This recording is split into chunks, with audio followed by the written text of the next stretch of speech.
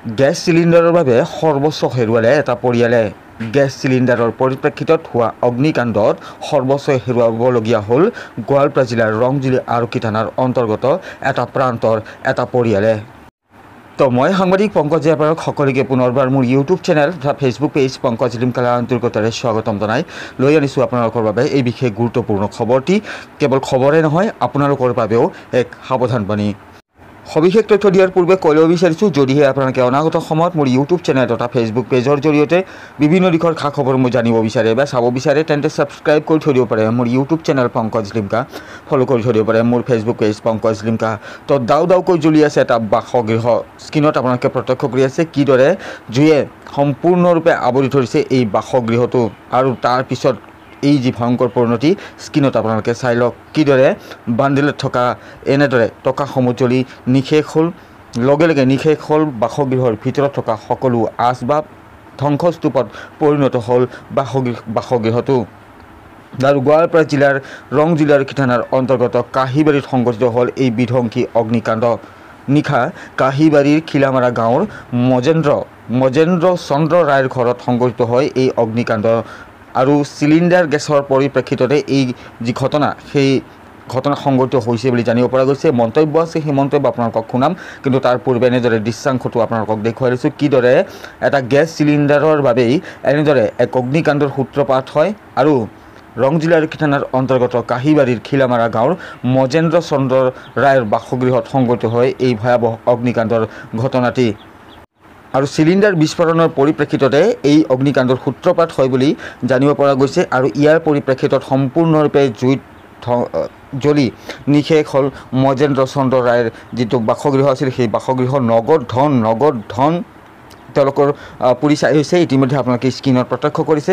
ইয়াৰ লগে লগে আপোনালোকে কল্পনা কৰক যি ধৰণৰ অগ্নিকাণ্ড সংঘটিত হ'ল মজেন্দ্ৰ চন্দ্ৰ ৰায়ৰ বাসগৃহত তাত থকা বাসগৃহৰ ভিতৰত থকা যিসমূহ আচবাব আছিল যিসমূহ নথি পত্ৰ আছিল তেওঁলোকৰ গুৰুত্বপূৰ্ণ যিসমূহ নথি পত্ৰ আছিল সেইসমূহ জ্বলি সম্পূৰ্ণৰূপে ভস্মীভূত হয় সম্পূৰ্ণৰূপে ধ্বংসস্তূপত পৰিণত হয় তেওঁৰ বাসগৃহৰ ভিতৰত থকা সামগ্ৰীসমূহ।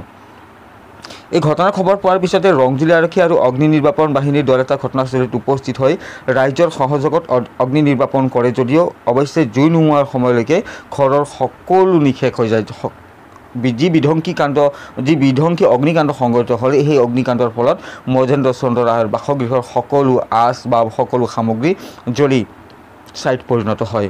আৰু চিলিণ্ডাৰৰ পৰাই এই অগ্নিকাণ্ডৰ সূত্ৰপাত হৈছে বুলি জানিব পৰা গৈছে। আৰু গতিকে আপোনালোকেও সাৱধান হওক চিলিণ্ডাৰ ব্যৱহাৰ কৰোঁতে আপোনালোকে সাৱধানতা অৱলম্বন কৰিব। আৰু তেওঁলোকে জনাইছে যে চিলিণ্ডাৰটোতে তেওঁলোকে যেতিয়া আনিছিল আৰু নতুন চিলিণ্ডাৰ আনিছিল আৰু সেই নতুন চিলিণ্ডাৰটো যেতিয়াই তেওঁলোকে ফিটিং কৰিব বিচাৰিছিল তেতিয়াই তাৰ পৰা শব্দ ওলাইছিল আৰু গেছ নিৰ্বাপন হ'বলৈ ধৰিছিল। তেনে সময়তে তেওঁলোকে পলায়ন কৰে বাসগৃহৰ পৰা যি যিসকল সদস্য আছিল তেওঁলোকে পলায়ন কৰে। আৰু নিমিষতে যেতিয়াই চিলিণ্ডাৰৰ পৰা গেছ নিৰ্গত হ'বলৈ লৈছিল তেতিয়া তেওঁলোকে পলায়ন কৰে আৰু তাৰপিছতে বিস্ফোৰণ হয় চিলিণ্ডাৰটো।